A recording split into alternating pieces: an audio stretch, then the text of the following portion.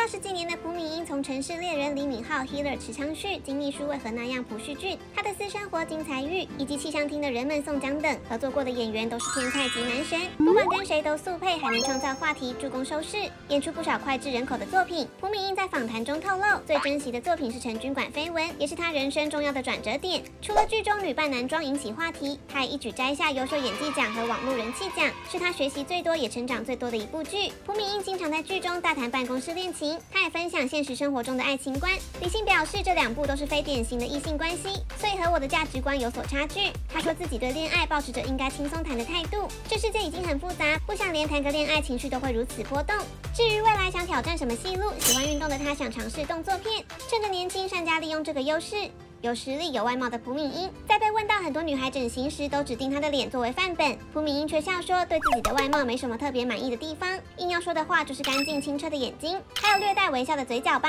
更说正努力尝试接受真正的自己。不管你怎么想，你在我们心中永远是最完美的啊！